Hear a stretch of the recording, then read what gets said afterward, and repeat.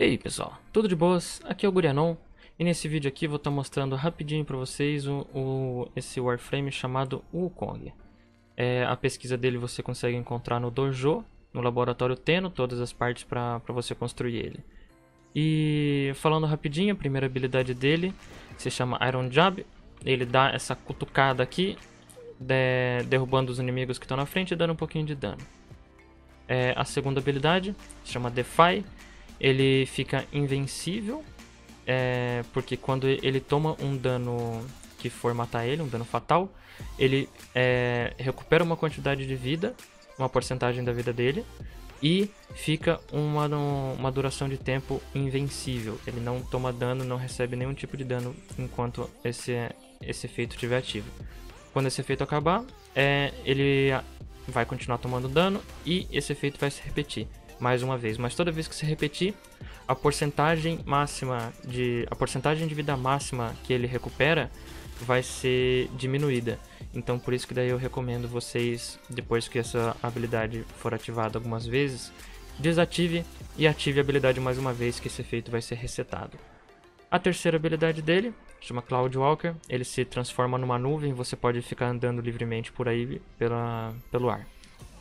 É, a quarta habilidade dele se chama Primal Fury, ele invoca esse bastão que, que dá dano nos inimigos. Esse, essa habilidade também é afetada pelos mods que você está usando na sua corpo a corpo, então por isso que daí eu recomendo quem estiver usando essa habilidade, coloca o Reach ou Prime de Reach na sua corpo a corpo, porque independente do alcance que você tiver no, o, na build do, do Kong, é, vai ser afetado também pelo alcance que você colocou na corpo a corpo. É, eu vou estar mostrando aqui para vocês uma build que eu particularmente gosto mais de usar no Kong, que é uma build focada principalmente pro DeFi.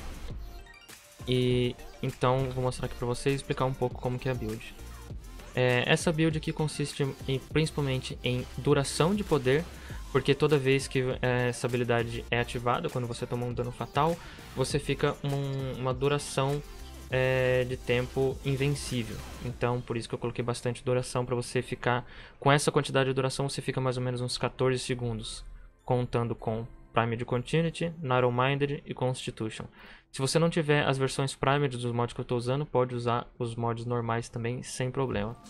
Vitality e Steel Fiber para ficar com mais vida e essa vida é, tancar bastante com um pouco mais de armadura. E o Rage, que compensa eu ter um pouco, uh, um pouco só apenas de, de força de, de, eficiência de poder com Streamline, porque toda vez que eu tomo um dano na vida, eu recupero uma parte do dano que eu recebi na vida em energia. E Steel Shard e Rush, aqui o Steel Shard para dar mais dano na corpo a corpo, e Rush para correr um pouco mais rápido. Mas todos esses mods você pode mudar se você quiser, sem problema. Essa aqui é simplesmente a build que eu uso e uma build que eu gosto de usar. E é, Vou mostrar aqui para vocês como que essa habilidade é efetiva. Vou colocar aqui 5 Heavy Gunners, Corrupted Heavy Gunners, no nível 90, que seriam mais ou menos os inimigos que você iria estar tá encontrando na última parte da surtida. É... Vamos começar aqui. Eu não vou pegar energia para mostrar para vocês como, a, como que é a eficiência do mod Rage. Simplesmente ativa a habilidade e fica aqui tomando dano. Como vocês podem ver, ali ativou o Defy, eu fico uma duração de tempo invencível. Eu também estou usando o Arcane Grace na minha Sindana, então vocês vão ver ali ele ativando também, recuperando um pouco da minha, da minha vida enquanto eu tomo dano. E depois que essa habilidade ativa algumas vezes, o que eu faço? Ativo e desativo a habilidade e pronto. Estou de volta novinho em folha, sendo muito tanque.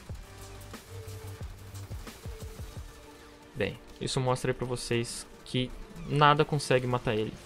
A única coisa que consegue matar ele são os nullifiers, porque se você entrar dentro da bolha deles, é, você desativa a habilidade e com isso você pode acabar morrendo depois, porque você não está com essa habilidade ativa.